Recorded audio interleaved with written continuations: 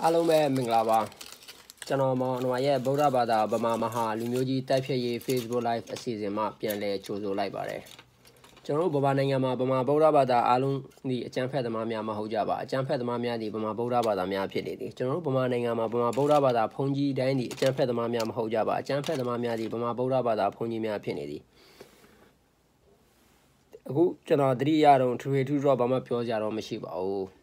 ထွေထွေထူးထူးပြောကြမရှိဘူးဒါပေမဲ့အကြောင်းအရာတစ်ခုလေးတတိယလို့ကျွန်တော်တက်ပြီးတော့ပြောတာပါ live လည်းပြောလို့မရဘူးဆိုတော့ video recording လေးနဲ့ပြောမလို့ပါ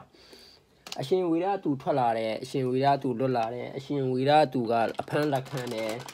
ဗုဒ္ဓဘာသာဗမာမဟာလူမျိုးကြီးတွေရဲ့ကိုးကွယ်ရာတွေတဲကလူတစ်ယောက်ဖြစ်တဲ့လူတဦးဖြစ်တဲ့လူစင်စစ်တဲကမှဖះတယောက်ဖြစ်သွားတဲ့ရှင်ဝီရသူ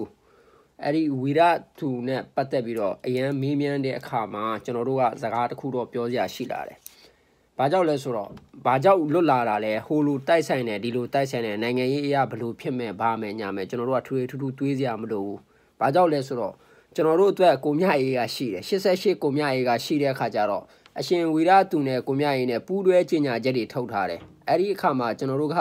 ဝီရသူကဘာဖြစ်လို့ဒီအချိန်တန် အချိန်ဒီရွေးကောက်ပွဲအလိုတပတ်လောက်အလိုမှာမှ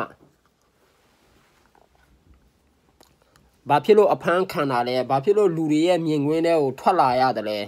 အဲဘယ်နည်းဘယ်ပုံစံဘာညာဆိုတာတွေကိုကျွန်တော်တို့တွေကပြည်သူတွေအနေနဲ့သိချင်တဲ့ပြည်သူတွေအနေနဲ့ကလည်းကိုမြအေးကိုမေးဖို့လို့တို့မျိုး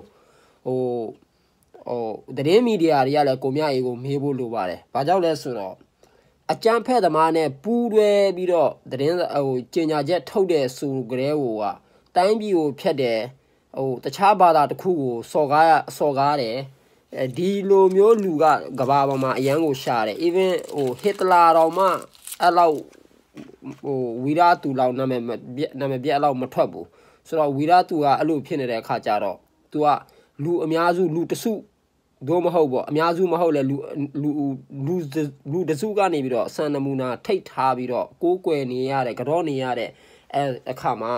ဒါဒါဒါဒီလူနဲ့ပတ်သက်ပြီးတော့အဲ့လိုမျိုးပူးတွဲကျင့်ကြချက်တွေပါတယ်ထုတ်ထားတဲ့ကိုမြအေကိုသာမေးဖို့လိုပါတယ်အားလုံးပဲကျွန်တော်